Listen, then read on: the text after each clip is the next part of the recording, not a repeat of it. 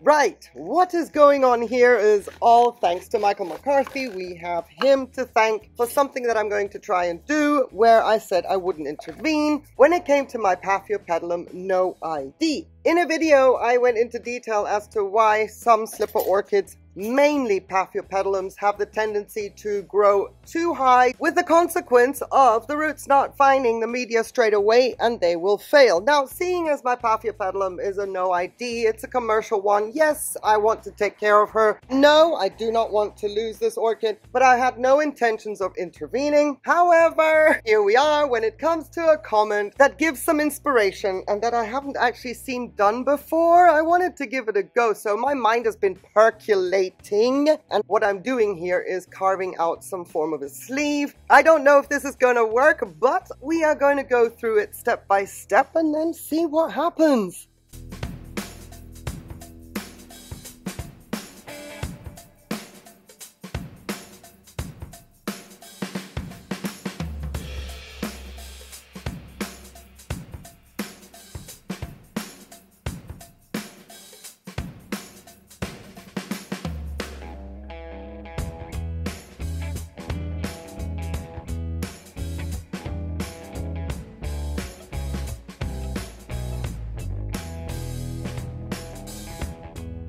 It is possible I'm already way too late for this because the roots are not looking great at all considering how they looked a couple of weeks ago when I explained why this happens in that video. So I'm not going to say do this to make your roots grow, but I'm going to at this point say try this and see if your roots grow. I have opted for a plastic sleeve. I just cut it out from the smallest little bottle that I have. Alternatively though, I'm sure it works with a paper roll as well. So this is from the inside of a toilet paper that you could then cut to size as well. The reason I'm not going with this is because I don't want to endanger any rot setting in with new growths that are growing very, very close to this growth. That is clearly bolting from the normal level of the rhizome. And you can see here, I've got another growth. They should all be down there. But anyway, that's why I'm not using this because what I'm going to do is stuff my little sleeve here full of sphagnum moss and that needs to be kept damp at all times. As I am heading into winter, the conditions are not going to be as favorable for me to have a lot of dampness around the bottom of a structure while new growths are trying to grow elsewhere. So for that reason, I'm going with plastic. However, if you have beautiful airflow, consistent nice temperatures where rot isn't an issue, I believe a nice damp toilet paper roll that always has sphagnum moss in it, that'll work as well and eventually it'll just fall apart and you can take it off. And then the idea being cut the growth potted up with already nice roots growing. But in order for me to achieve what I'm trying to do, first of all, I have decided I'm going to take the lower leaves off just so that I can expose the stem. And I can see that another new growth is trying to grow at the base there, which is annoying. very welcome under normal circumstances, but not for this. Ah, we have a root here. Let's see if we can encourage that to grow. So yeah, I'm trying to get to this leaf up here. Maybe just keep the leaves that are really at the top. Expose as much of the stem as possible. So again, I have never done this before. So what I'm doing is going by what I think will work, but it will be interesting to see how this works out in the months to come.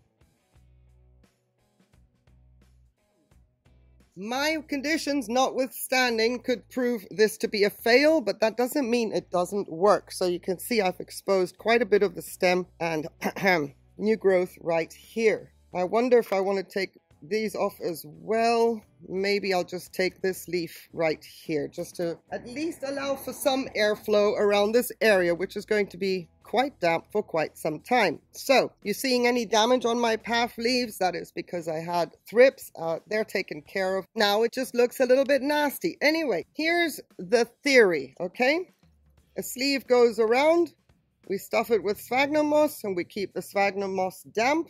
Roots will grow, Maybe they'll reach the media, maybe not, but once they're long enough, the stem can be cut off and the fan can be potted up. However, you saw how huge my sleeve is around there. I would like to narrow that down a little bit. So I'm going to cut a chunk off and see if we're then at the right length. My mind is already thinking, what am I going to do? How am I going to show this? How am I going to explain myself? And I'm bang straight into the video. My apologies. It's good to have you. I appreciate that you're here. And if you're already super entertained by this idea, would you give this video a like? Just, you know, A for effort. That would be awesome. Thank you so much. And then guess what? If you have not subscribed to the channel and you want to follow the progress of this orchid and 300 plus other orchids that are all around the patio and now unfortunately some are in the indoor grow space, please consider subscribing. Take a moment, hit the subscribe button. It really helps out with the growth of the channel and the support is greatly appreciated. So you see, there we go. That's kind of how I like it. I would like to have it that narrow. So I'm just going to cut another smidge off. So yeah, I'm going to leave this one little growth to hopefully develop. I hope you can see that.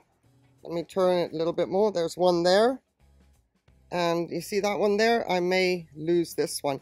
It's possible that this fan right here, this lead, is trying to grow these two new growths because it's recognizing this fan, there is no hope for it unless we do it right. Now, in order for my sleeve to stick, I'm going to punch two holes into it so that I can tie it up. And I have my little twine here. Two holes. So let's continue with the fiddle. I really like little things like this. If I can try and implement them, make them happen to see how it works out. So thank you, Michael McCarthy, for the inspiration. I was not going to even address this fan. I was going to see what it was going to do, let it go. I was going to just sacrifice it. But, you know, sometimes we have slipper orchids that are not cheap. And we can't be so generous as to say, yeah, not bothered. So if this works, there's future in slipper orchids and their growths bolting. And we're all going to be a little bit more wiser afterwards.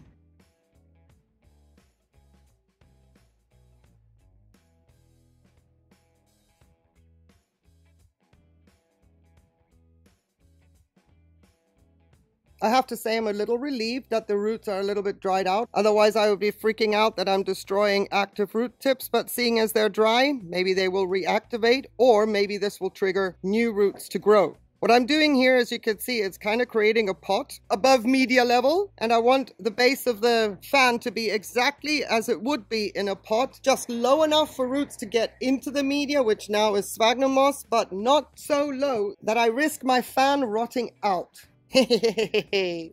what do you think?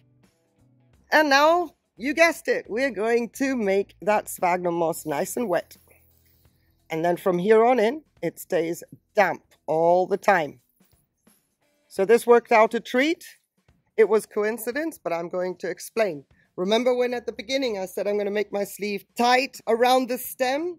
Well, I would have had a much, much harder time getting that moss damp if plastic were around it all the way around. So the fact that there's an opening here, I don't have to go into any other angles over here where it's really, really tight. I only have to worry about where the gap is and the moss will absorb everything and then hopefully we should get some roots.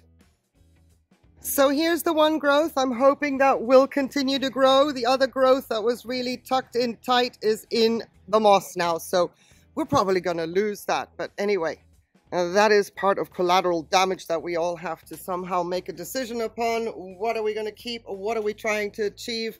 How far are we prepared to go? I want to also now, just as a final thought, get rid of the leaves that are in here more airflow. that is a very, very damp area now. Normally, I do not take my leaves off when they're still green. I really do wait until they've gone very, very brown. not to the point of going crispy, but brown enough. Under these circumstances, I think I'm much more comfortable by allowing more airflow in that area. Little side note, let them go really brown. There's a lot of energy in these leaves. And now we wait and observe and learn together. So if this wasn't helpful, if it didn't give you some inspiration for a situation that you come across that is very, very similar, then at least I hope it was entertaining. But I want you to know that either way, I thank you so very much for watching. I appreciate your time and support. Watch the space is all I can say. Have yourself a beautiful day on that one condition, though, please, that you stay safe. Take care. Bye.